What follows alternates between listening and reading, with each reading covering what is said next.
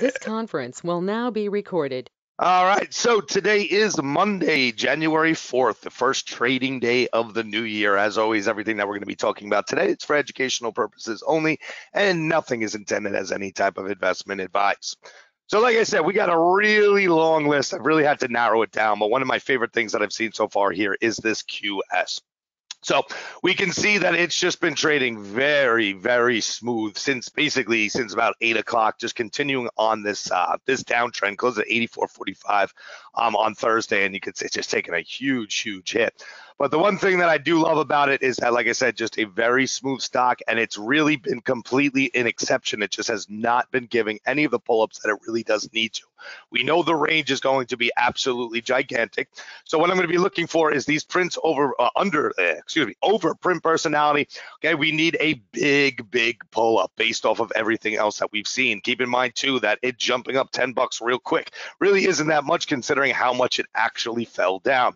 So with these bid prints, the first thing we want to look at is do we have riders that came back? And we do. We have riders right up above, right about here, right in that 66 uh, area to about 6750 right there. So once we come back to reality and one of the best, you know, the volume patterns that we see coming in right now, we want to see a big bar like this that can't sustain because that's what's going to end up kicking up and giving us that trigger back towards the upside to pull up from those 65 bid prints. Okay, figure like I see, you know, 70 really is the number that it should go based off of how many prints it just showed there. And then figure from there, we're going to be looking to take it right back down towards that 65 but five dollar move to the upside really isn't that much. So I gotta, I really, in order to be able to short this, I need to see it at least get back up to this 71st. And obviously, with this much room and this far away from 65, the trade is definitely going to be towards that upside, going to be a number three trade because we're basically going along off of bid prints and you know but at the same time like i said they you know they need to bring this back up. 70 is really the number that we need to see there. Now you know don't get me wrong. Could it just continue to tank and be an exception? Absolutely could. We would need to see some shorter term selling coming in there but we don't see that. As you can see, we see 63.90, we see 63. I mean, really nice riders starting to come into this. So I like the setup a lot. I love the print uh, that we've been seeing so far. Next thing going to be looking at is BTBT. So Another one where I really do like these prints right here. All right, unfortunately, only one print at that 25 level, but I was watching it and it, when it was executed, I mean, you're talking about really, really ballsy prints as the stock was coming back up. Um, and we just really haven't been able to move away from that 25. We know 25 is going to be a hard thing first to be able to hold. So seeing those little sellers coming in afterwards, definitely looking for us to come back down, test, you know, basically that 2350 area of support. And then we're going to be looking for the stock again to be able to break past, uh, back up past that 25. Just keep in mind, look at what the daily looks like. This stock is very, very pretty. So be careful of this of a real big down day coming into this because we just haven't seen it and volume has been basically unsustainable right? The volume that we've seen come into this morning in no way whatsoever is even close to what we've been seeing coming in over the past few days when we got up to 79 million okay? 60 million. You can see that's just a lot. So keep that in mind as we're going in because it gives us a real nice variable to look for not to be able to well first of all to bring it over 25 get people into it but then bring it down and kind of take that breath that we could just see it has not been able to take since it's been moving. Next thing looking at is wkhs and unfortunately it happened already but we'll talk about it anyway. All right so coming into this morning you can see these prints right here. This is what really interests me. So you jump up above 2150 really not much there whatsoever. And then we get this beautiful selling burst that comes in at that 2165 level. From there we can see it ends up falling but we do get the buying that comes in on the upside. So not only is this shorter term selling but then you get the pullback that we needed from this 2150 area. And then obviously you know, the stock you know showing some riders. We see these sellers coming in right? Real ballsy 2110 2106 2105 uh, but unfortunately, all those prints, it's making its move right now. So we're going to need to see something else in it. I just really, really like that setup. Unfortunately, it, you know, it, it happened already. Been getting some really nice trading coming into the pre-market. So based off of what we see here, we definitely do need for it to come back up to 21. It's not a huge mover, but I just really liked that print setup. And that's all it comes down to. Remember, you know, even though it's, you know, only let's say 25, 50 cents, really at the end of the day, very high percentages. That's what we need to follow. So it's Unfortunately, not as good as it was because it's kind of already in that money making mode. But just keep in mind that when we have all these sell prints, we didn't really get anything at 21. It was all between. So we're going to need some type of controlling here to find any type of new entry. Mara, M A R A. So another one that I really like. Some prints that came in. What did we notice today? But the personality. Okay, does it look like market makers are trading today compared to last week? Are they back? Well, sure as hell looks that way because we're getting a lot of really nice stuff. So this is another really nice setup that unfortunately kind of happened as we were uh, during the pre-market. And when I say unfortunate, that just means because I know a lot of you, a lot of people, especially beginners, aren't going to be trading the pre-market, kind of waiting for that open. So I didn't say unfortunate. It's not unfortunate at all. It's doing what it's supposed to. It just kind of takes a lot of people that would be trading it kind of out of the game. So we look right here. We're at that 12 level. We have beautiful ask prints. And then what happens afterwards? Okay. Immediate react. Well, the, not immediate, but the reaction to it is this huge selling that comes in at this 1210 level right? We keep pushing.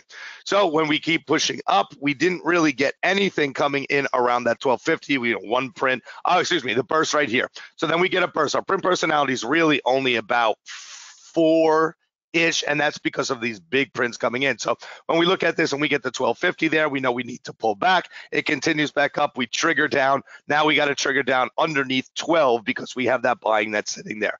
Now we need to at least get down to 1175, at least to this orb line right here. Unfortunately, with the amount of prints that we saw at 12, it really should be a lot, a lot more of a pullback there.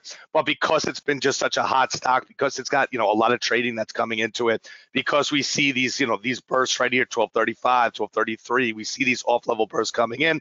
We we don't we can expect the time frame to be a little bit quicker coming in. So another one where eh, you know it really does need to pull underneath that 12 and then looking to go back up. Unfortunately, 1250 doesn't have as much as we'd like there, but you know at the same time it definitely does give us a high probability trade. Next thing, OCGN. So this is one where unfortunately it kind of has been very, very mixed and has not been trading very well coming into the morning. We've had some really big buying. We've had some really big selling. This is definitely towards the bottom of our side list. It just happened. I don't know why I have it written all the way at the top. This actually should go towards our bottom. But at the same time, we've seen as we came down below this four level, even though it's been coming down, we really have still been seeing a lot of bigger buying bursts that have been coming in. So really what I want to see is, is it going to be able to hold that 350 level? Now we have no trading here. There really is a gap. Now obviously go out there and get shares, make sure that you have shares available. But even though we're coming back down towards that 350, I've been seeing a lot of buying coming in during that consolidation. That tells us we really do have a nice chance of being able to come back towards that upside and get a trade coming over and at least test kind of these highs right here. Um, unfortunately, it didn't test all the way to five. That would have been obviously that would have been real nice if it did. Um, but unfortunately, without that, we don't really have the best of percentages. So this is one of those stocks that we're going to have to let it see, kind of let it see it run a little bit then get a pullback trade that comes into it, more of a number four type trade in there. And then obviously, if we print bids at 350, we're going to expect a pullback, and then we could just trade it towards the downside. You know, that, that would just be uh, that would end up turning it into a short. But the reason I'm not sold on this, this stock coming and filling this gap and really being a short yet it's just because the amount of really big buying that I've been seeing. And it's not like the buying. Remember, we want two phases. So it's not like it just shows buying because that could just be covering. It shows buying and then it follows up with oh, a more buying that comes in afterwards. So it looks almost as more of a reaction to covering buying than it is just covering in general. Next thing, BNGO. This should be a lot higher up our list. Now, obviously, there's just been so, so, so, so, so much buying that's been coming into this thing. It's just absolutely unbelievable. Uh, unfortunately, I've been talking. I did not see exactly. I mean, I could look up the prints on another screen, but I did not see exactly what happened at five. Uh, but I have to take the assumption that we got a whole lot of buying, a big order coming in um, and being executed. Five is not going to be an easy level to be able to just get away from. One thing that it's not going to let me go all the way back to, but as we were coming up, those 494 uh, the prints that came into BNGO, it was just absolutely phenomenal. We started to see refreshing from 92, 93, 94, a little bit of 96 um, in that area, uh, uh, big buy at 99.5. Okay, I, I, I would have to assume so with that much volume pushing up into there. So guys, we have everything we need in this stock. Unfortunately, it's sitting at the five level. We don't need to see any more buying to know that there's enough buying actually in here. Um, unfortunately, at this point, we do have to pull back a little bit from five, and you can see it's starting to trade more like an actual stock rather than trading a lot in these, you know, consolidations. It's starting to get smoother, which is definitely a good sign of showing bigger ranges to come. All right, so overall, we do need to pull back a little bit from this five, which unfortunately right now just pushing up at the moment because it's you know pre-market and the volume's just pumping back in. But overall, guys, um, there's enough buying in this, you know, where they're, they're definitely got to get to a point where they're getting close to not having to build anymore. All right. No, now because of the fact that we don't really have anything. We basically are looking for just what we would look for in any stock, following the rules. Pull back from five, trigger to the upside, and we take it from there. ANTE. Oh my lord, I feel like I've been talking forever for a morning meeting. We got a lot of stuff going on out there. Now, this is towards the bottom side of our side list as well. All right, but as we were coming up to that 350, I think, yeah, right here. So we can see there wasn't really any great prints here. All right. But when we come over to the 324 and we can see 350 actually is really above what the actual print personality here is.